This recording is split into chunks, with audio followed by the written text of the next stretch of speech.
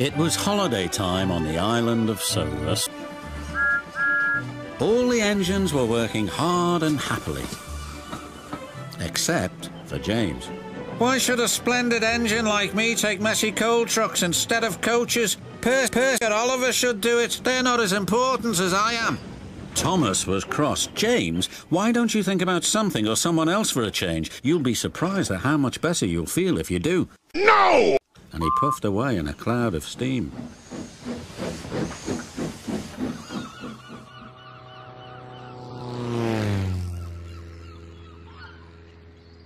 That plane's making a great deal of noise about something, said Purr to Oliver. His name is Tiger Moth, replied Oliver, and it's flying around telling everyone about the fur that's arriving today.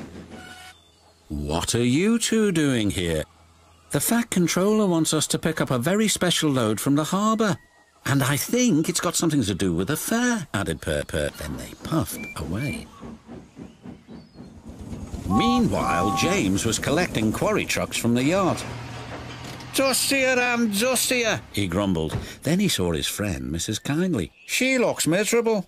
What's the matter? asked James's driver. I suffer dreadfully. The Fat Controller soon heard the sad news. We must cheer her up. Send Harold the helicopter to pick her up immediately.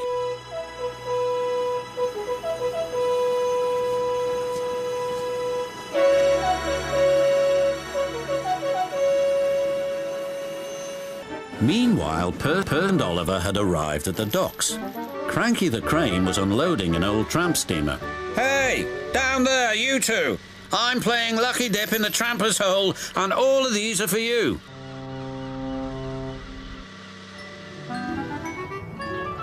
Wooden horses, Purr exclaimed, for the carousel ride. It's going to be a very exciting fair.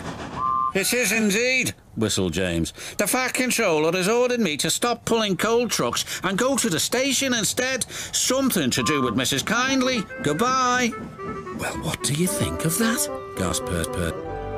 Mrs. Kyndley was waiting for James with the Fat Controller. Now this is your very special treat. James will take you on a mystery ride and I shall meet you at your destination. James took Mrs. Kyndley along her favourite coastal route to Tidmouth Bay. When he arrived there, it was dark. A big surprise awaited Mrs. Kyndley. She cried, you've brought me to the fairground. How lovely. Best of all, the Fat Controller invited her to make the announcement, I declare this fairground open. The side stalls lit up and Mrs. Kyndley had the first ride on the carousel.